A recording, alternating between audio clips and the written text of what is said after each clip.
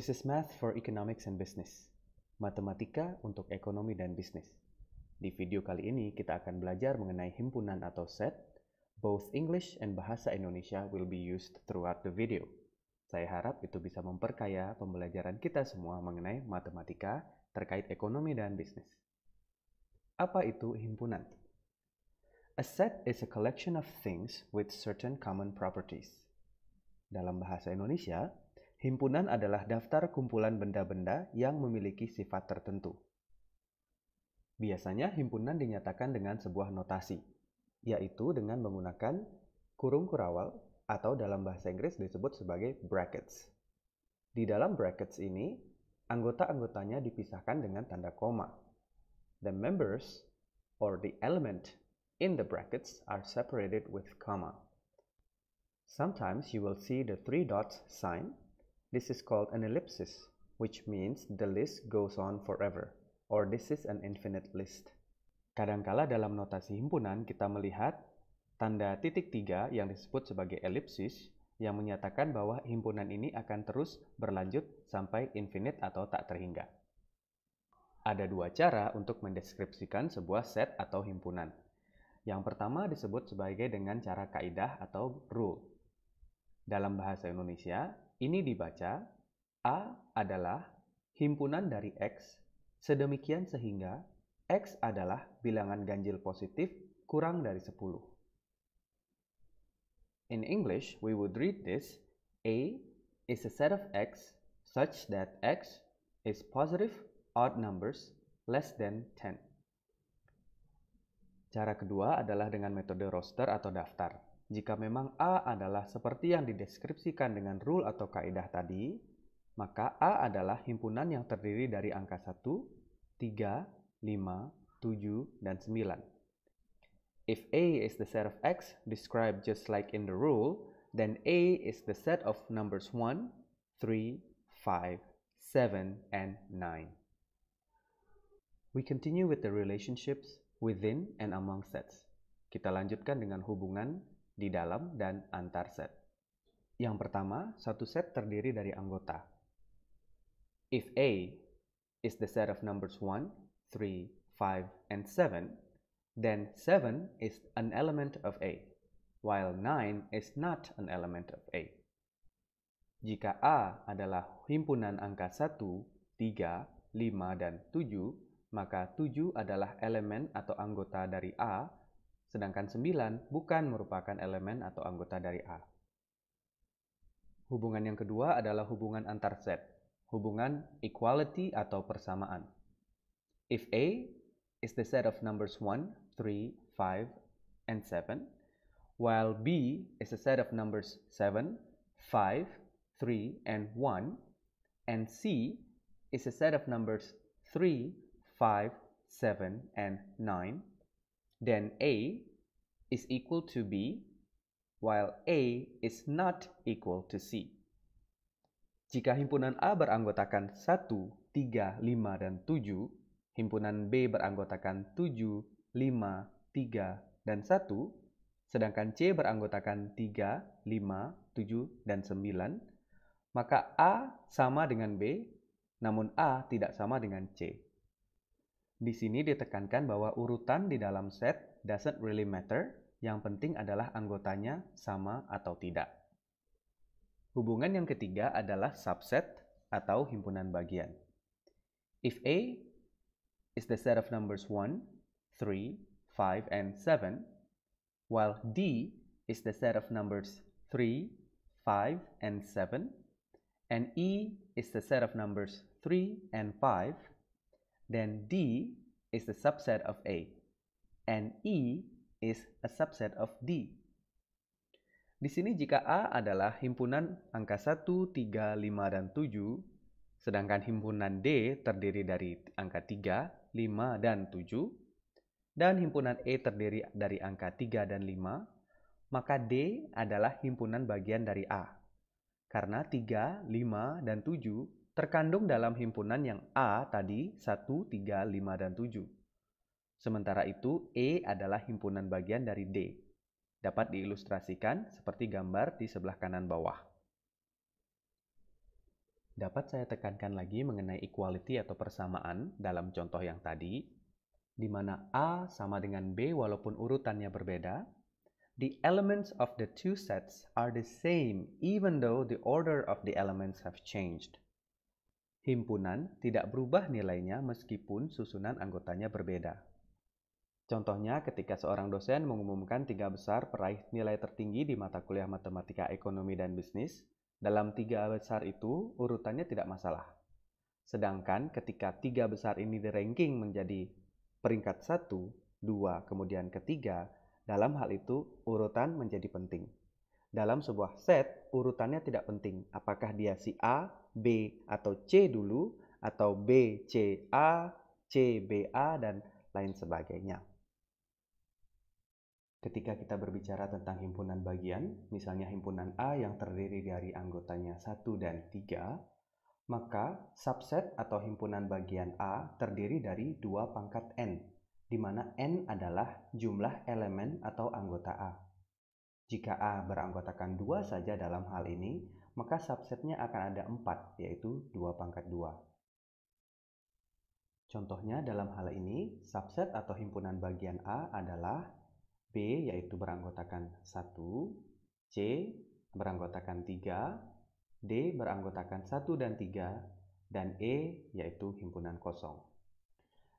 Another example, if you have a set with three numbers, then the number of subset is 2 to the power of 3.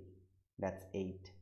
Jika Anda memiliki suatu himpunan yang terdiri dari tiga anggota, maka jumlah himpunan bagiannya adalah 2 pangkat 3, yaitu 8. Kita harus selalu ingat bahwa himpunan kosong atau null atau empty set selalu merupakan himpunan bagian dari suatu himpunan. Another term that we really need to know is the universal set, himpunan semesta. This refers to everything that is relevant to the discussion or inquiry.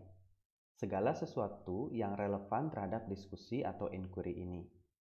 Misalnya ketika kita berbicara tentang airline yang aktif beroperasi di Indonesia, maka kita mendapatkan universal set yang terdiri dari Garuda Indonesia, Citylink, Sriwijaya, Nam Air, Lion, Batik, Wings Air, Air Asia, Susi Air, Express Air, Transnusa, Calstar.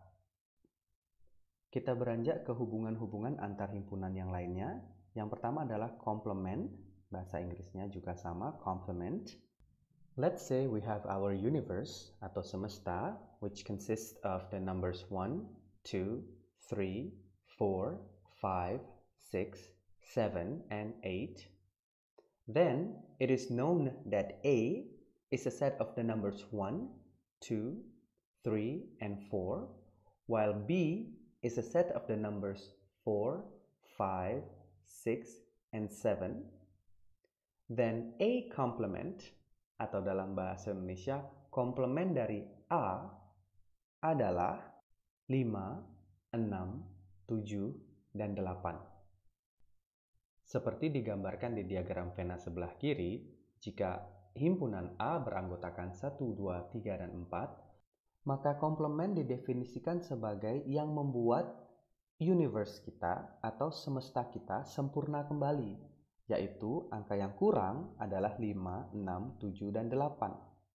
Sebaliknya, komplement dari B ketika B adalah 5, 6, 7, and 8 to make the universe whole again, supaya universe atau semesta kita sempurna lagi, kita perlu komplement yaitu angka 1, 2, 3, dan 8 yang di luar dari lingkaran B tersebut.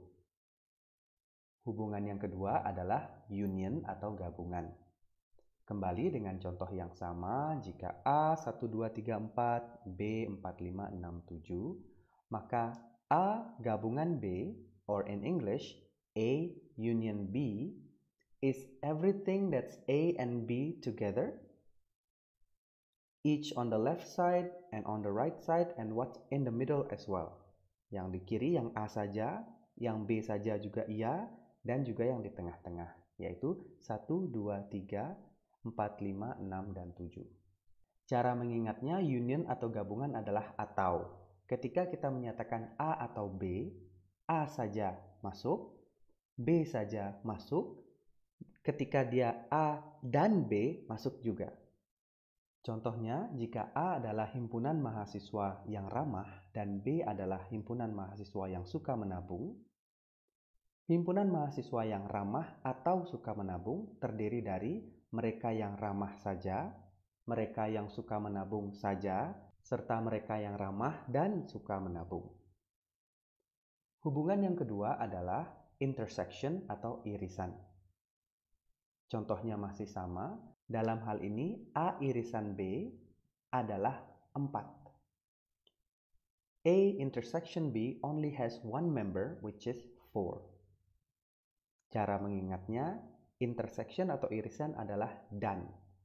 Ketika kita memenyat, ketika kita mencari kriteria orang yang harus ramah dan harus suka menabung, yang dicari adalah hanya yang memenuhi kedua kriteria tersebut, ramah dan suka menabung.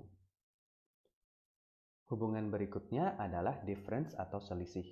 Dengan contoh yang sama, A minus B beranggotakan 1, 2, dan 3. A minus B is 1, 2, and 3. Karena kita menyatakan adalah anggota-anggota A yang bukan merupakan anggota B. Dalam hal ini 1, 2, dan 3 yaitu A saja bukan yang juga dimiliki oleh B. Sementara itu B minus A adalah anggota-anggota B yang bukan merupakan anggota A. Dalam hal ini contoh ini adalah 5, 6, dan 7. Hubungan-hubungan yang lainnya sebagai berikut. Ketika A union B adalah 1 sampai dengan 7, maka A union B komplement adalah 8. Masih dalam konteks yang sama, ketika A irisan B adalah 4 or A intersection B is 4, then A intersection B complement atau A irisan B complement adalah yang membuat semesta ini utuh lagi, yaitu angka 1, 2, 3, 5, 6, 7, dan 8. Hal terakhir yang patut menjadi perhatian adalah perbedaan antara notasi himpunan dengan ordered pair atau pasangan berurutan. In sets, let's say P is the set of numbers 3 and 4, while Q is the set of numbers 4 and 3, then we can say P equals Q. Dalam sebuah himpunan, jika P terdiri dari 3 dan 4, sementara Q terdiri dari 4 dan 3, kita bisa menyatakan P sama dengan Q, karena sekali lagi urutan tidak masalah. Namun, dalam ordered pairs atau pasangan berurutan, let's say R adalah 3,4 dalam kurung biasa ya, bukan kurung kurawal. Sedangkan S adalah 4,3. Dalam hal ini R tidak sama dengan S. Karena bisa saja ini merupakan suatu koordinat.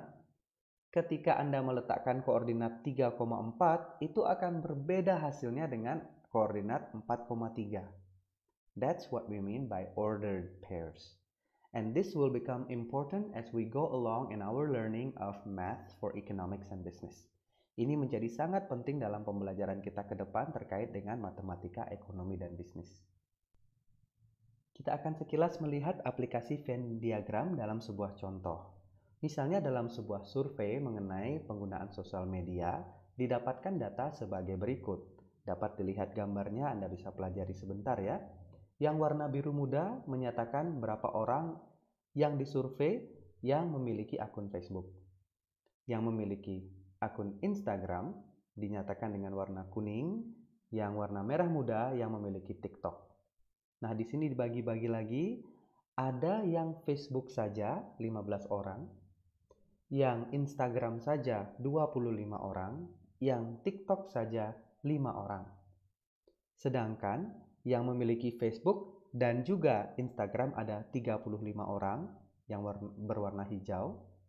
Yang memiliki Instagram dan TikTok saja ada 15 orang yang berwarna merah dan yang berwarna biru tua yang memiliki Facebook dan TikTok ada sebanyak 10 orang. Sedangkan yang hitam di tengah-tengah ada 65 orang yang memiliki ketiga-tiganya. Sedangkan dapat dilihat dalam contoh ini ada 30 orang yang tidak memiliki ak sama sekali dalam survei ini. Nah, salah satu pertanyaan yang mungkin bisa ditanyakan berapa orang ya yang disurvei dalam kegiatan kali ini. Kita dapat menjumlahkan setiap anggota-anggota itu dari 15, 25, 5 untuk yang satu-satu saja, atau yang memiliki dua akun ada 35, 15, dan 10, plus juga dengan 65 yang memiliki ketiga-tiganya, ditambah dengan yang di luar daripada lingkaran-lingkaran diagram Venn ini, yang membuat semesta ini utuh yang tidak memiliki Facebook, Instagram maupun TikTok yaitu 30 orang. Kalau Anda jumlahkan semua ini berjumlah 200 orang. So to answer the questions, there are 200 people involved in this survey. Dalam hal ini kita juga bisa melihat beberapa contoh lainnya, misalnya berapa orang total yang memiliki akun Facebook, entah itu Facebook saja atau Facebook dengan yang lain-lainnya, yaitu 15 tambah 35 tambah 65 tambah 10 sejumlah 125. Sedangkan yang memiliki Instagram, baik Instagram saja maupun kombinasi dengan yang lain adalah 25 tambah 15 tambah 65 tambah 35 yaitu berjumlah 140 orang. Sedangkan yang memiliki akun TikTok secara total ada 5 tambah 10 tambah 65 tambah 15 yaitu 95 orang. Semoga paparan dalam video ini beserta contoh-contohnya dapat meningkatkan pemahaman Anda tentang matematika, terutama dalam konteksnya di bidang ilmu ekonomi dan bisnis. We will continue to learn in this video series. Stay inspired, be inspiring. Thank you for watching. Don't forget to subscribe and hit the bell button so you can get the latest updates on new contents.